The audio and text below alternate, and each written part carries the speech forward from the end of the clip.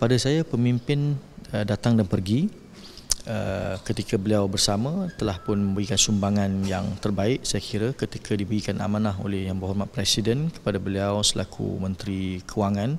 Dan uh, hari ini beliau memilih untuk bersama dengan AMNO dan Barisan Nasional.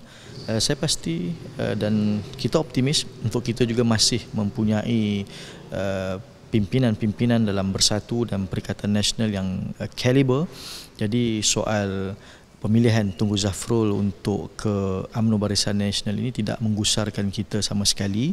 Kerana kita optimis kita punya pimpinan yang ada talent sama ada di peringkat persekutuan ataupun di peringkat Negeri Sembilan sendiri. Jadi saya kira itulah eh, apapun kita ucapkan terima kasih atas uh, sumbangan beliau uh, selama ini. uh, dan juga uh, kita juga akan terus dengan uh, tekad kita untuk memperkukuhkan sah perjuangan.